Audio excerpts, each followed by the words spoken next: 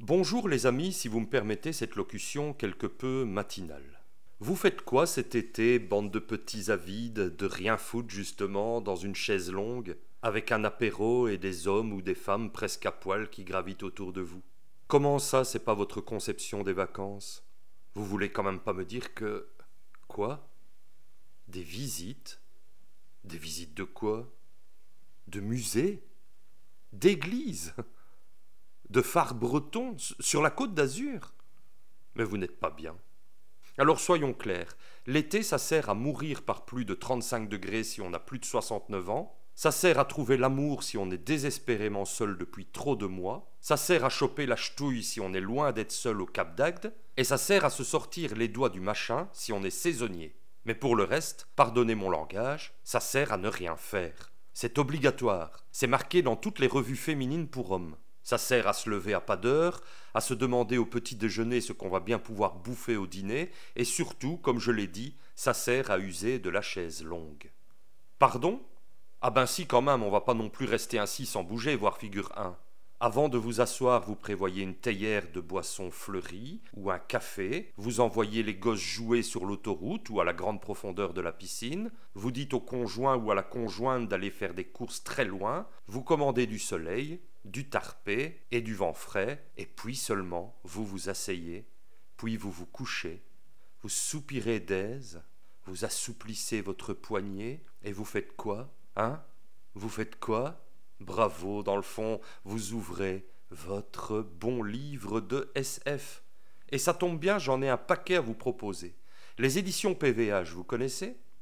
Bon, d'abord, c'est suisse, donc la coupe est impeccable. Ça relève presque de l'objet contondant. Faites gaffe à ne pas le balancer à l'aveugle, même si vous n'aimez pas, ce qui est de toute façon hautement improbable. C'est pas comme tous ces bouquins français qui sont découpés n'importe comment et un peu mous.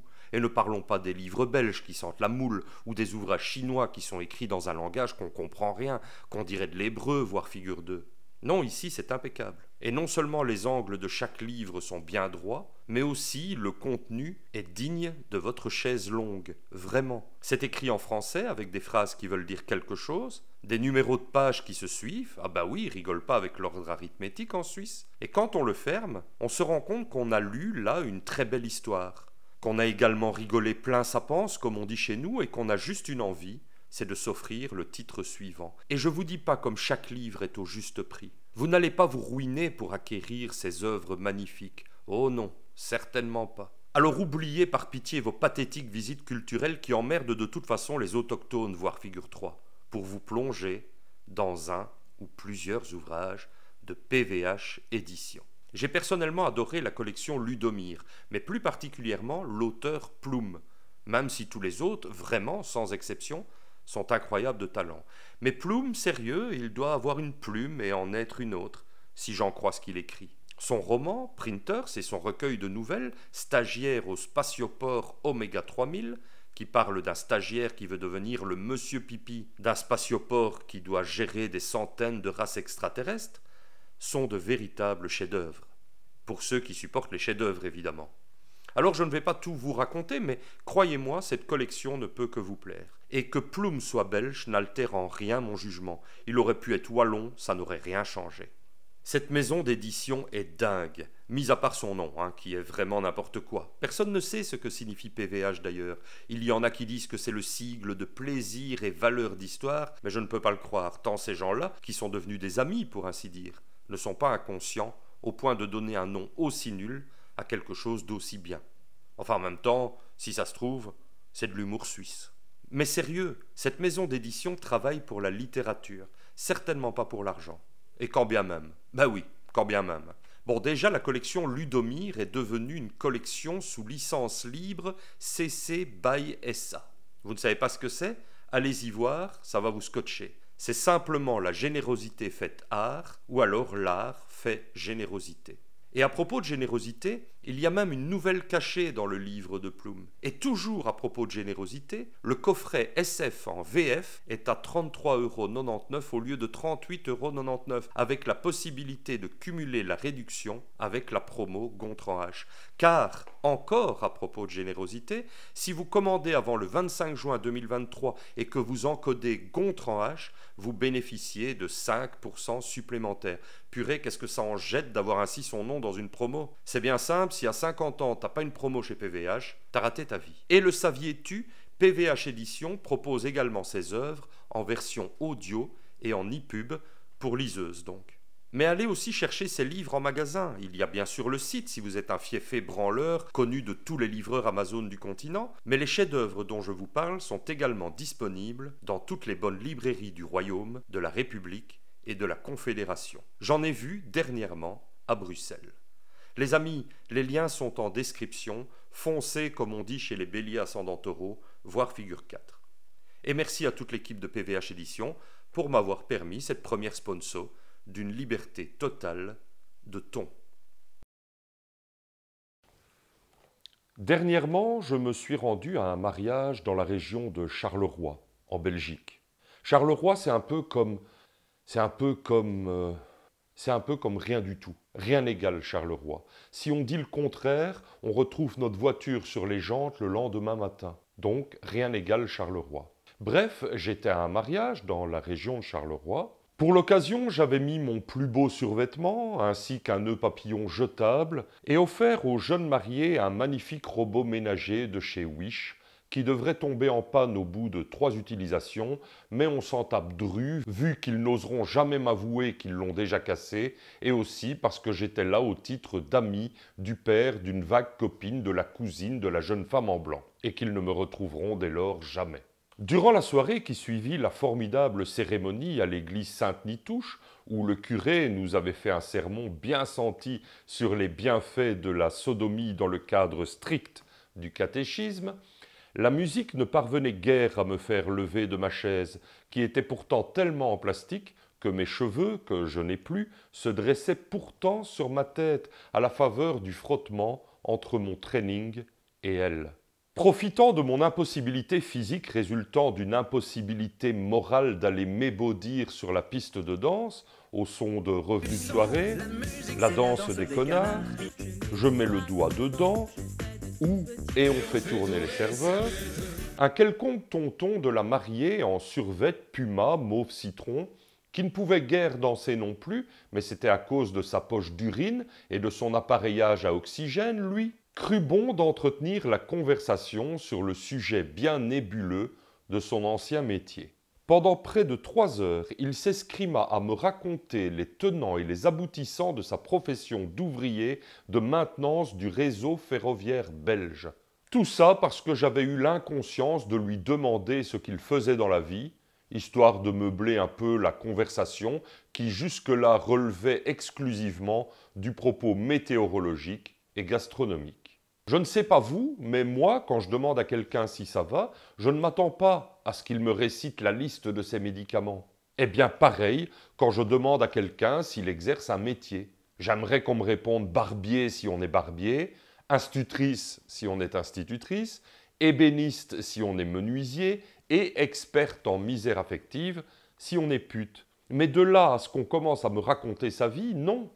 C'est triste, mais ça n'intéresse personne sauf peut-être en ce qui concerne l'experte machin chose, mais alors s'il y a des illustrations sur son téléphone intelligent.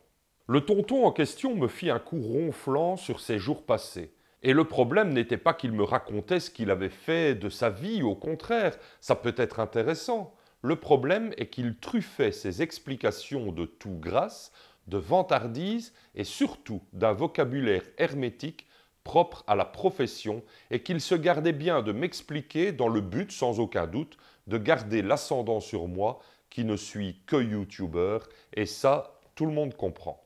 Ainsi, au lieu de me laisser m'endormir sur la série de slow tout aussi nulle que les chansons diablement rythmées de tout à l'heure, le tonton me lança parfois des phrases du genre Au cours de l'auscultation caténaire, on a détecté une anomalie sur le fil de contact, nécessitant un resserrage des consoles de soutirage et une vérification du gabarit de la voie, tout en assurant la coordination avec les systèmes de signalisation et de traction électrique pour garantir la sécurité et la fluidité du trafic ferroviaire.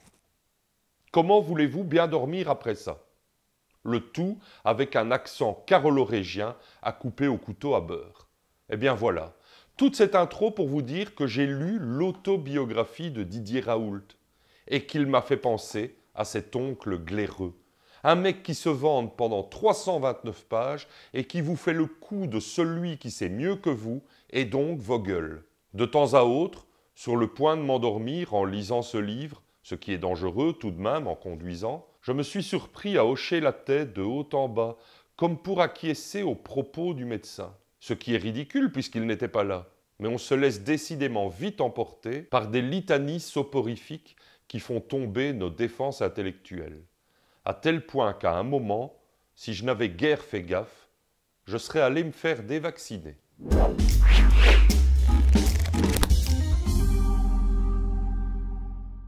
Au moment où je commence à écrire cet épisode, nous sommes le 19 avril 2023. Et l'Internet nous dit que ce livre, Autobiographie de Didier Raoult, auquel je n'ai pas pigé grand-chose de technique donc, comme s'il s'agissait d'un ouvrage écrit dans une langue étrangère, totalise en 13 jours 6000 exemplaires vendus. Est-ce cela qu'on appelle la méthode à 6000 C'est possible. Je ne suis pas très documenté non plus sur le sujet. Mais lorsque j'ai vu que Didier Raoult avait sorti son autobiographie, je me suis dit que c'était de mon devoir de le lire.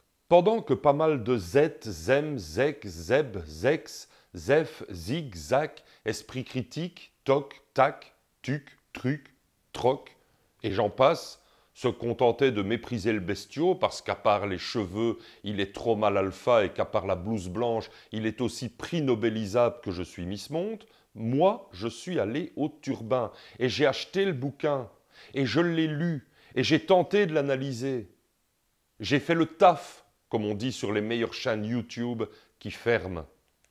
Bon, le problème est que je suis bien incapable de dire si, sur la partie purement médicale, Raoul se trompe, ou s'il est réellement le génie magnifique tel qu'il se définit entre les lignes. Il défend bec et ongle ses résultats et se trouve des excuses en béton pour le reste, tout en utilisant un vocabulaire qu'on dirait le tonton du mariage, histoire que ses lecteurs, pris d'une flemme bien légitime face à des sujets hermétiques, eux qui attendaient plutôt des révélations croustillantes, comme dans toute autobiographie, histoire que ces lecteurs donc se disent Waouh s'il croit en tout ce qu'il dit, et s'il se revendique de l'esprit critique. Car dans ce livre que je vous recommande vivement de ne pas acheter, et même de ne pas voler à la FNAC, c'est pour dire, il n'y a strictement rien qui ferait changer d'avis celui ou celle qui en a déjà un sur l'animal. C'est juste qu'il croit faire une mise au point définitive, alors qu'il se met forcément à dos ceux qu'il avait déjà à dos, et qu'il fait bander les autres qui bandaient déjà pour lui. Donc n'en parlons plus, du moins de ce pan du livre qui est comme un pétard mouillé. Parlons plutôt du contenu propre à toute biographie, à savoir ce que ce bouquin peut nous apprendre sur l'homme. Didier Raoult commence par affirmer sans sourciller que sans sa famille, la France ne serait pas la France.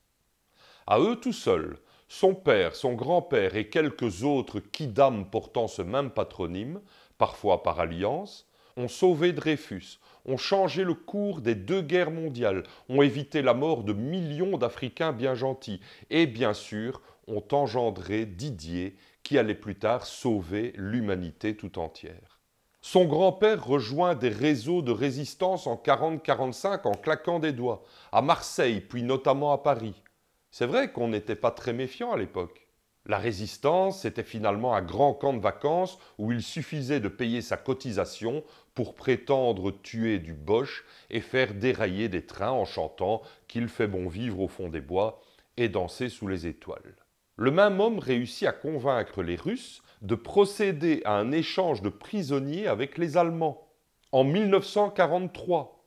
Donc le mec, il est en France, sa femme est prisonnière des Allemands, les nazis ont tendance à fusiller tout ce qui tire un peu trop sur le rouge, et lui, qu'est-ce qu'il fait, le grand-père? Il appelle Moscou en PCV pour demander qu'on libérât quelques Allemands aux mains des Russes pour les échanger contre quelques bons Français aux mains des Allemands. Dingue comme ils ont le bras long, les Raoult. Sans compter qu'après la guerre, le grand-père de Didier, prosternez-vous devant moi, Raoult, est nommé à la direction du comité d'épuration. Vous savez, ceux qui tondaient les femmes et exécutaient les suppôts astronogiques qui n'avaient pas eu la présence d'esprit de retourner leur veste assez tôt. Didier Raoult, dans son écriture insipide, avoue par ailleurs n'avoir aucun respect pour les suiveurs, les moutons, et qu'au contraire, les grands conquérants du monde sont dans les prières laïques de la famille depuis des lustres. Les soldats, chers à canon, c'est de la roupie de Sansonnet, à côté de ceux qui, comme lui aujourd'hui, ose affronter le pouvoir en place, jadis nazi, aujourd'hui ordre des médecinesques. La guerre n'est pas finie, les gars. Il nous faut encore ramener à la raison du plus fort toute la clique des mécréants qui croient encore que le vaccin est la solution et que l'hydroxychloroquine est dangereuse. Alors si on en croit l'autobiographie de cet homme, mais si on devait croire à toutes les autobiographies du monde, on finirait par penser que le prince Harry est un gars qui n'a pas eu facile, que Nabila est une fille talentueuse, qu'Ophélie Winter est chanteuse et que Marine Le Pen est la plus grande démocrate de l'univers, de la France, du Nord, le département. Si on en croit donc l'autobiographie de Didier Raoult, cet homme a un QI de 180, donc forcément incompris de nous autres, pauvres 144, ou dérisoires 110 pour les plus chers à canon d'entre vous. C'est un zèbre, quoi lui-même une espèce d'ongulé. Si on en croit le bouquin, Didier Raoult est également et injustement décrié par tous les connards qui ne partagent pas son avis sur un tas de choses. Il est aussi avant-gardiste au point qu'on ne se rendra compte de ce qu'il a apporté à l'humanité que bien après sa mort. On apprend que son physique n'avait rien à envier à celui de Schwarzenegger et que, vous savez ce que c'est, ça l'a beaucoup desservi dans son obsession à imposer ses idées auprès des instances médicales qui sont toutes stupides lorsqu'elles le critiquent et insuffisamment subventionnées lorsqu'elles partagent ses idées. Et sa famille, finalement, n'est pas grand-chose non plus à côté de son talent incommensurable à faire avancer le schmilblick médico-mondial. En tout cas, si j'en crois sa grammaire discutable. J'adore d'ailleurs ce passage du chapitre 1 où il dit Les portes de ce bâtiment qui a plus été source de souffrance que de bonheur pour moi et ma famille depuis 80 ans. On dirait en effet que la politesse élémentaire dont la grammaire française est la porte-parole quand elle veut bien n'est pas son fort. Bon, apparemment, moi non plus. Mais tout de même, c'est fun. Raoult est fun. Et ce n'est pas la seule faute de français, le livre en est truffé. Allez, un autre exemple en vitesse et après on passe aux choses sérieuses. Il écrit dans le chapitre 4 cette phrase succulente. J'ai d'ailleurs eu l'occasion d'analyser a posteriori les restes des soldats de la Grande Armée qui avaient survécu à la traversée meurtrière de la Bérésina avant d'aller mourir du typhus à Vilnius. Non, parce que pas mal de médecins analysent les restes de soldats a priori, de leur vivant sans doute, du vivant des soldats mort, après avoir survécu. Je me comprends.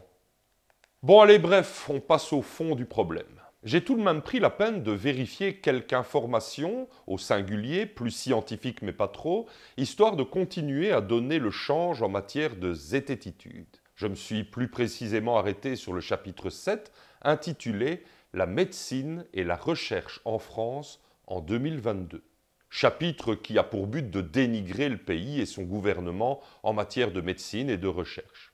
Gouvernement qui lui-même cherche bien évidemment à appauvrir intellectuellement la dite France. Car oui, le professeur Raoult se positionne aussi en observateur avisé qui voit clair dans le jeu des politiques, qui eux-mêmes n'y voient goutte, tellement ils culminent à 115 de QI à tout casser. Dans ce chapitre, Didier Raoult dresse le tableau d'une France et de ses universités en déliquescence. En tous les cas, il tente de démontrer que la France est sur le déclin et que ses grandes écoles ne valent plus un copec, d'autant que seul lui sait sans doute ce qui serait bon pour toutes les matières enseignées. Il évoque surtout le classement de Shanghai, également connu sous le nom de classement académique des universités mondiales, et qui est un classement annuel des universités du monde entier, publié par l'université Jiao Tong de Shanghai depuis 2003. Il indique plusieurs choses fausses, ou en tout cas dépourvues de tout ce qui pourrait contredire ses certitudes à lui. Déjà, il commence par dire que les principaux paramètres sur lesquels se fonde le classement de Shanghai sont au nombre de quatre. Or, les paramètres qu'il cite ne sont pas les principaux. Loin s'en faut. En vrai, ils sont au nombre de six, les paramètres, dont quatre qui valent 20 points chacun et deux qui valent 10 points. Et déjà, Raoult cite les deux paramètres à 10 points comme étant parmi les principaux. Ouais. Bon. Juste après, il cite donc les quatre paramètres qui retiennent son attention destinés à évaluer les universités. Et le premier d'entre eux est pour lui, je cite ses propres paroles, Est-ce que vous avez formé des prix Nobel ou est-ce que vous avez des prix Nobel dans vos effectifs d'enseignants C'est sa phrase à lui, n'est-ce pas? Eh bien c'est faux. Le premier indicateur du classement de Shanghai dit pour 10 points donc, y a-t-il des anciens élèves de l'université, lauréats du prix Nobel et médaillés Fields? Nuance, car pour Didier, je fais ce que je veux avec mes cheveux Raoult si on ne prend en compte que les prix Nobel, il est vrai que le classement de Shanghai est un peu pareil au palmarès de l'Eurovision de la chanson. La France ne gagne pas souvent. Les derniers sont Georges Charpak en 1992 avec sa chanson Détecteur de particules cucul, Claude Cohen-Tanucci en 1997 avec son tube Refroidissement et confinement d'atomes par laser, et enfin Gérard Mourou en 2018 avec le non moins célèbre Have You Seen Eli, dont le clip existe vraiment. Il est en description. Tous les trois ayant reçu le prix Nobel de physique. Sans compter qu'en 2016, c'est une équipe dont la teneur en francitude était élevée qui a remporté le Nobel de chimie. Donc non, c'est mieux que l'Eurovision.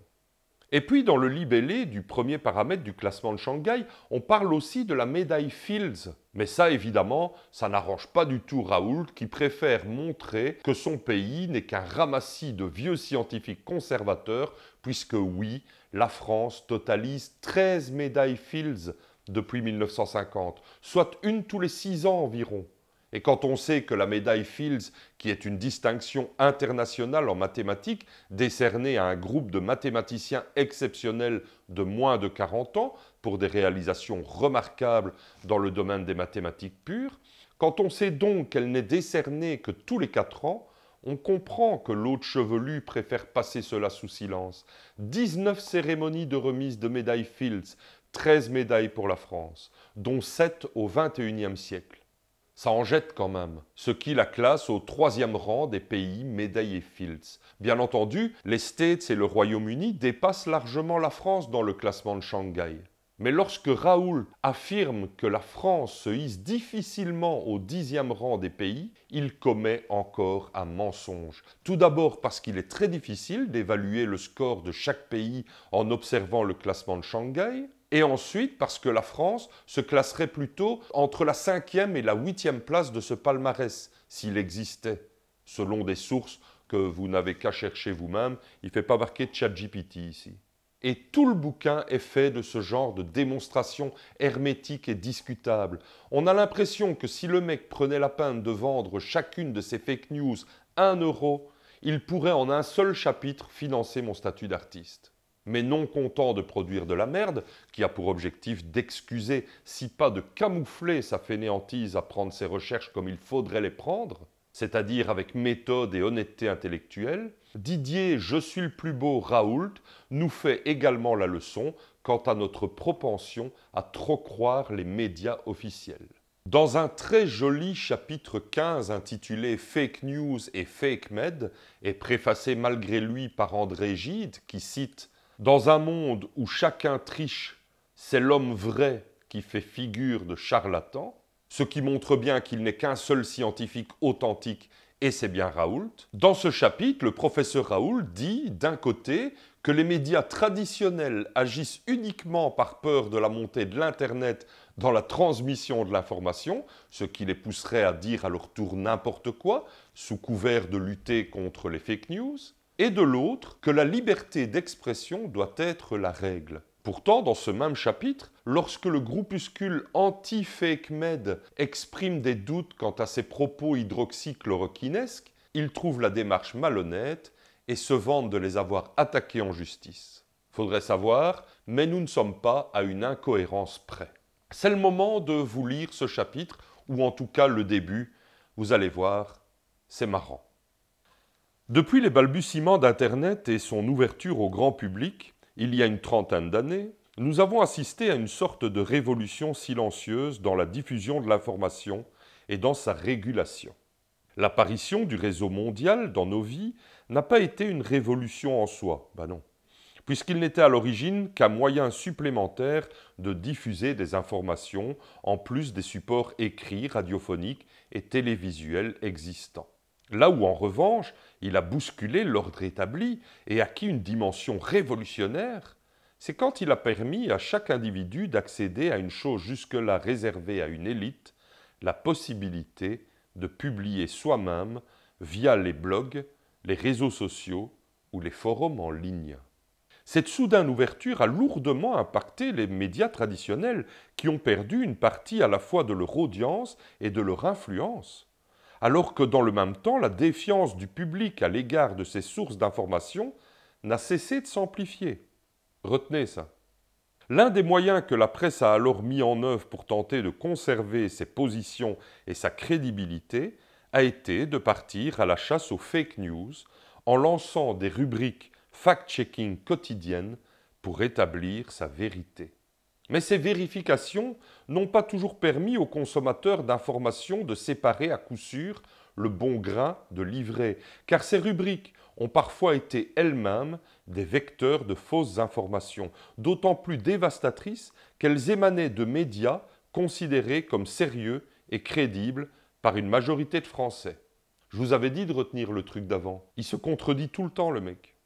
J'en ai moi-même été victime, très précocement, car après que j'ai relayé la déclaration des Chinois qui annonçaient leur fin de partie, j'ai immédiatement été étiqueté fake news, notamment sur le site du ministère de la Santé, Retenez bien ça. Et mes posts ont été retirés de Facebook. Nous avons évidemment demandé ce qu'ils appelaient des fake news, dès lors que ce que nous avions relayé était une information basée sur des données publiées et sur des annonces officielles du gouvernement chinois.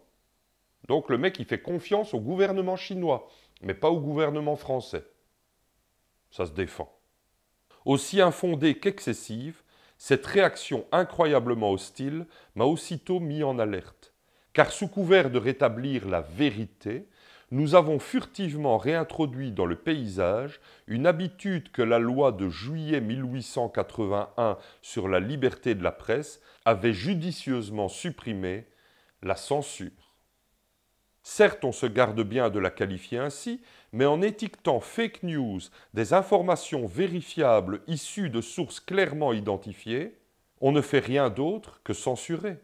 Ce processus censé préserver les citoyens de la désinformation et de la propagande est d'autant plus dangereux et pervers que les soi-disant détenteurs de la vérité n'ont le plus souvent aucune légitimité et pas beaucoup plus de compétences pour arbitrer entre le faux et le vrai. Mon équipe et moi-même en avons fait l'amère expérience au cours de cette pandémie, quand des cohortes de prétendus experts essayaient par tous les moyens de nous faire passer pour une bande de délinquants irresponsables et incompétents, au seul motif que nous refusions de hurler avec les loups et de véhiculer sans aucune distance des informations dont les seuls fondements étaient de sortir des canaux officiels, c'est-à-dire le gouvernement, ses officines et l'industrie pharmaceutique. Durant cette crise, soit on se rangeait à l'opinion majoritaire sans la moindre réserve, soit on se retrouvait catalogué comme diffuseur de fake news ou, pire encore, comme dangereux complotiste. Cette confrontation a, pour ce qui nous concerne, atteint son paroxysme quand un groupe d'activistes rassemblés sous la bannière No Fake Med, groupe contre lequel j'ai depuis porté plainte, a abreuvé d'insultes tous les scientifiques qui ne partageaient pas leur point de vue à la lettre et dont je faisais évidemment partie, de même que la plupart des membres de mon équipe.